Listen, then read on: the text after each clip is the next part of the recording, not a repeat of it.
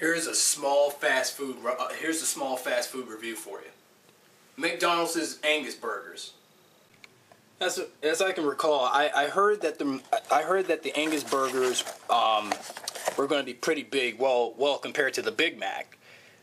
Um, I like well I like the uh, the way how it um, just look at that delicious meat, the bun, the stuff that's inside. Well, what I got is the uh, mushroom Swiss Angus. I like this one. I also like the bacon. I like the bacon cheddar one as well too. I, that was pretty. Both of them are pretty good. Um, let's see the contents. Let's see. Meet the mega patty. Um, say hello to a juicy flavor third pound, third pound of 100% Angus beef, but don't stop there. Not with three mouth-watering ways to get acquainted with this burger. Looks like the beginning of a tasty friendship. And here's the, the, the ingredients of how they made the made this big ass this big ass sandwich.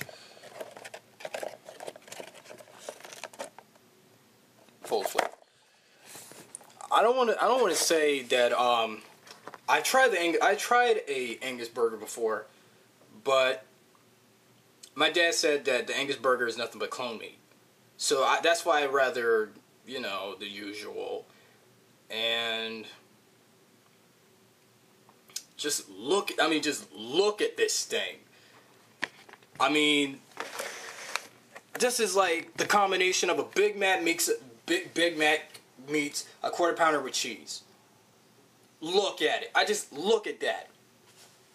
Now, that would be the kind of sandwich I would get from some other fast food joint, like Wendy's with the Baconator, and Checkers with whatever uh, burger, cheeseburger they got. But McDonald's, you know, I, am I'm, I'm going to take back for all that shit I was talking about McDonald's before, uh, which I never told you guys about. And when I when, when you when, it's just uh what I just didn't like about McDonald's